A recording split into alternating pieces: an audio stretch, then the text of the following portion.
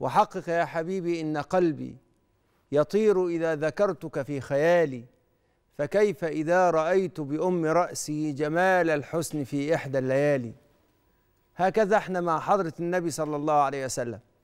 نسير مع سيرته عشان نكمل مسيرتنا في الحياة بأنوار حضرة النبي صلى الله عليه وسلم. وتعالوا نتفق إن إحنا أتينا بالكلام عن السيرة في رمضان عشان تنلنا بركة حضرة النبي صلى الله عليه وسلم في شهر واسع البركة وواسع النفحات وعشان كده إحنا بنحاول نمشي مع حضرة النبي صلى الله عليه وسلم عشان تتحول السيرة إلى طريق للسير ومسيرة. مسيرة نور ومسيرة بركة تفتح علينا كل آفاق النور والبركة. وكمان فنكتشف سر النور اللي حضرة النبي أودعه في سيرته. فننتقل إلى اليسر فيحصل لنا يسر فيحصل لنا سرور. فيا رب فرحنا دايما بحضرة النبي بأبي وأمي صلى الله عليه وآله وسلم. النهاردة موقف موقف النهاردة موقف مهم جدا جدا في حياتنا اللي بنعيشها دي. موقف بنشوف فيه الإنصاف على شوية أمور تتعلق بإزاي الرجالة بيفهموا الرجالة حتى ولو كانوا مختلفين. الموقف ده حصل ما بين أبي سفيان قبل ما يدخل الإسلام وهرقل ملك الروم. وهم بيتكلموا عن حضرة النبي صلى الله عليه وسلم بأبي وأمي وكان ده في وقت صلح الحديبية اللي كان بين النبي صلى الله عليه وسلم وقريش. بيقول أصحاب السير إن أبا سفيان بن حرب وهو بيتاجر في الشام استدعاه هرقل وكانت بينهم علاقات معروفة مشهورة.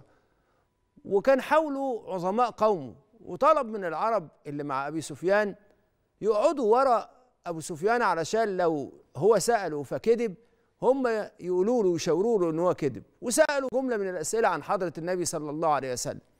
وأبو سفيان جاوب عليها. إحنا على طول هنروح ونسمع الكلام في نهايته وفي الآخر قال هرقل كلام مهم جدا جدا. وبيلخص في أسئلته لأبي سفيان وجوابه عليه. فقال لترجمانه قل لأبي سفيان سألتك عن نسبه عن نسب حضرة النبي بأبي وأمي صلى الله عليه وسلم. وأي نسب نسب كله مليان نور وعقد من اللؤلؤ. فذكرت أنه فيكم ذو نسب. فكذلك الرسل تبعث في نسب في نسب قومها. يعني هو سأله عن حضرة النبي فقال له لا هو له نسب؟ آه لا له نسب.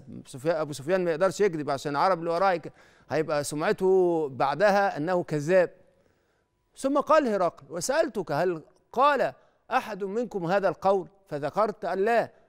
فقلت لو كان هو هرقل بقى بيقول فقلت لو كان أحد قال هذا القول قبله لقلت رجل يتأسى بقول قيل قبله. يبقى في حد هو ماشي على كلام اتقال قبله. وسألتك السؤال الثالث هل كان من آبائه من من ملك؟ فذكرت أن لا. قلت لو فلو كان من آبائه من ملك قلت رجل يطلب ملك آبائه. وسألتك السؤال الرابع هل كنتم تتهمونه بالكذب قبل أن يقول ما قال؟ فذكرت الله فقد أعرف أنه لم يكن ليظهر الكذب على الناس. آه طبعا هو ينفع إن هو يظهر الكذب على الناس ما يكذبش على الناس. ويكذب على الله؟ أكيد ما ينفعش. منطق بيقول إن ده ما يحصل ما يصلحش ابدا. وسألتك أأشراف الناس أتباعه أم ضعفاؤه؟ فذكرت أن ضعفاء أن أن أن ضعفاءهم هم أتباعه وهم أتباع الرسل. دائما كل أتباع الرسل بيبتدوا يكونوا هم الضعفاء. وسألتك أيزيدون أم ينقصون؟ فذكرت أنهم يزيدون وكذلك أمر الإيمان حتى يتم. يفضل يزداد يزداد حتى يتم. وسألتك أيرتد أحد سخطة لدينه بعد أن يدخل فيه؟ فذكرت أن لا. وكذلك الإيمان حين تخالط بشاشته القلوب. وسألتك هل يغدر؟ فذكرت أن لا وكذلك الرسل لا تغدروا وسألتك بما يأمركم؟ فذكرت فذكرت أنه يأمركم أن تعبدوا الله ولا تشركوا به شيئا. وينهاكم عن عبادة الأوثان ويأمركم بالصلاة والصدق والعفاف. فإن كان ما تقول حقا فسيملك. اسمع بقى هنا الموضع المهم أوي. فإن كان ما تقوله حقا فسيملك موضع قدمي هاتين. وقد كنت أعلم أنه خارج. لم أكن أظن أنه منكم. أنا عارف إن نبي آخر الأمة هيخرج بس ما كنتش أظن إن هو يخرج من العرب أنه منكم. فلو أني أعلم أني أخلص إليه لتجشمت لقاءه. يعني لو أنا عارف إن أنا أقدر أوصل له لرحت وتحملت أعباء إن أنا أقابله. ولو كنت عنده لغسلت عن قدميه. ده تعبير بيعبر عن التبجيل والاحترام. المهم في القصة دي إيه؟ المهم في هذا المعنى من السير إيه؟ عدة أمور اهم متشابكة. أول حاجة هرقل واضح إن هو بيقدر معادن الرجال. شخص ما بيتسرعش في الأحكام على الناس. بيسأل أسئلة متتابعة وما بيتسرعش على في الأحكام على الناس. فتقدير معادن الرجال الحاجة الثانية والمهمة بقى إن الرجل بيسأل حد ما يعرفوش وعامل ترتيبه عشان يوصل للحقيقة. بس أهم حاجة اللي عجبني قوي وأنا بقرأ هذا الحديث من ناحية تتعلق كده بالجانب الاجتماعي وإزاي إحنا نعيشها في حياتنا إن هرقل والكلام في السيرة عن حضرة النبي صلى الله عليه وسلم حب يدرس جوانب شخصية حضرة النبي من عدة جوانب. ليه طيب؟ ما هو البشر دول عاملين زي الغابة عاملين زي التشكيل التشريحي بتاعهم متشابكين وفيهم عدة جوانب لازم نراعيها. طب أنا بقول كده ليه؟ أنا بحس في الوقت اللي عندنا ده إحنا وكأننا بنتصيد الأخطاء لبعض وكأننا واقفين لبعض على الوحدة. بس سيرة حضرة النبي بتقول لك إن الأذكياء والقادة والحكماء بيبصوا للحاجة من عدة وجوه. إحنا قل عندنا ما يمكن أن نسميه التفكير متعدد الرؤى. لكن هرقل فكر في تفكير متعدد الرؤى ولذلك إيه اللي حصل؟ وصل للنتيجة الصحيحة. هذا نبي. يبقى التفكير متعدد الرؤى بيعمل لك مخارج ويعمل لك كمان قدرة على الوصول للحقيقة. زي الرجل مع زوجته ما يفكرش بتفكير متعدد الرؤى. يعمل إيه؟ هي أثرت في ده إذا هي ما بتحبش الأسرة وما تحافظش عليها. لو هو فكر هي أثرت في ده لأنها بتقوم بحاجة تانية. وهي لو فكرت هو مش مهتم بيا بس هو مهتم بلقمة العيش اللي بيجيبها لنا إن ربنا سبحانه وتعالى بيجري الخير على إيديه. يبقى لازم نتعلم. إذا كنا عايزين نعرف حقيقة البشر ما نبصش للبني آدم من ناحية واحدة بس.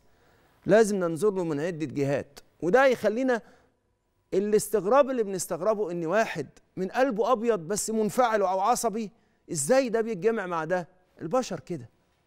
البشر متنوعين. البشر متعددين الجهات. طب الحل هو إيه بقى؟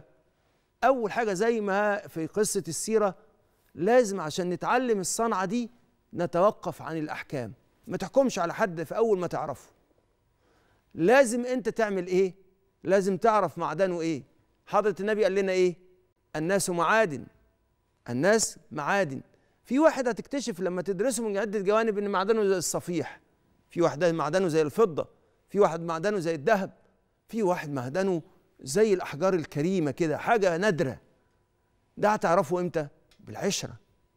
وعشان كده الكلام ده كلام أبو سفيان كان كلام واحد عاشر حد.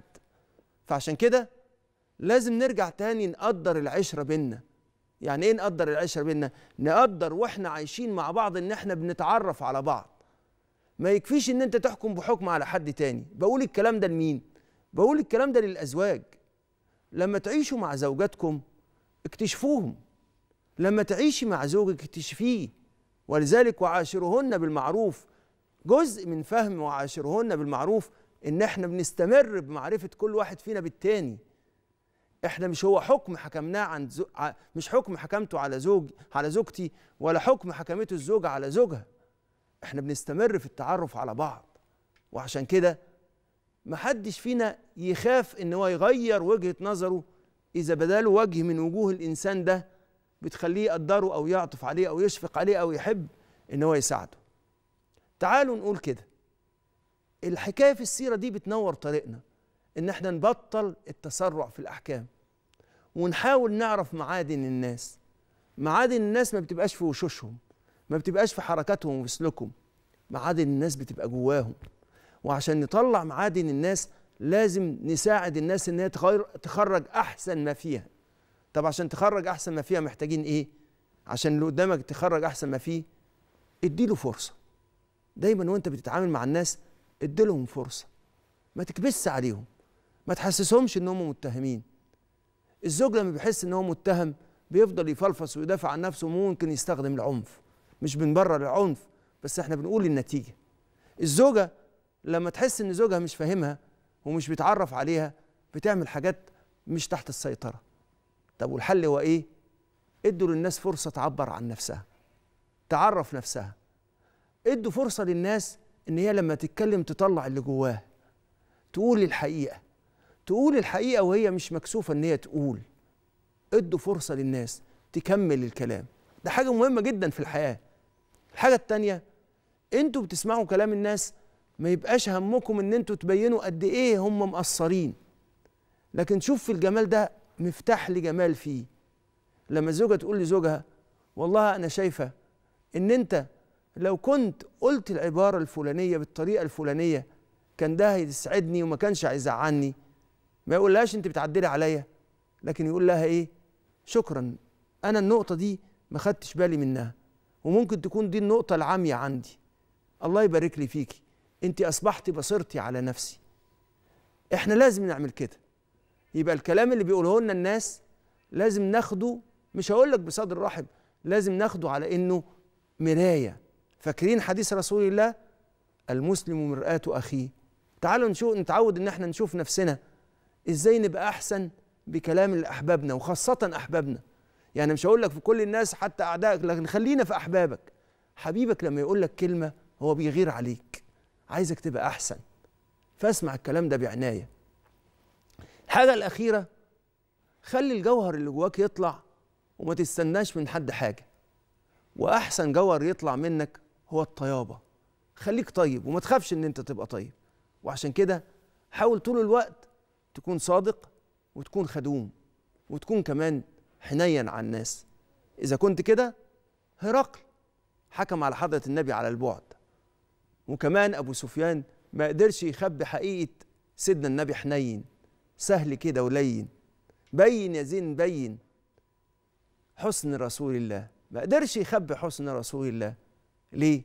عشان حضرة النبي صلى الله عليه وسلم صادق حضرة النبي خدوم حضرة النبي حنين. الحاجات دي كلها لازم تكون فيك.